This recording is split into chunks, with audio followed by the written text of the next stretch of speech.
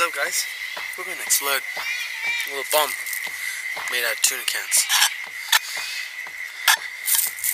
I haven't actually done this before, so bear with me. Might be slightly gay sometimes. Alright. Alright, so what we're gonna do, inside we have a 9 volt battery. Alright, and it's gonna, we don't know if this will have enough heat to explode it, but we're gonna find out now. So, what's that lighter got? Okay, we are set up in the middle of the street, so we're gonna light this puppy and we're gonna run. Alrighty, so sure uh, no cars anywhere.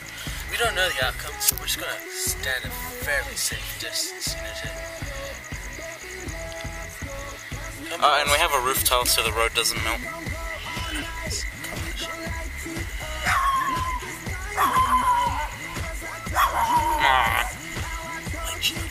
There There we we go. go. Okay, we're just gonna That's right.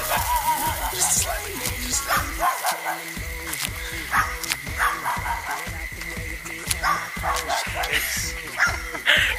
I seriously don't know how this is gonna turn out. Okay, I've never, I never. Made one this big? Maybe the power lines might will melt. Will it, will it go that far? Uh, I don't. Is know. it going above power lines? No. Under? Oh, please don't die. Come on, bro.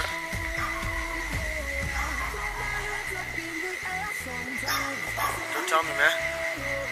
Don't do that to me. There we go.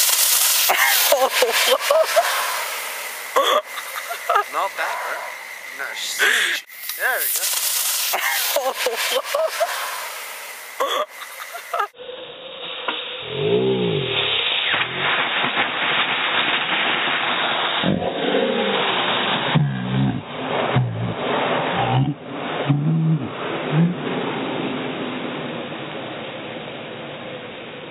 Are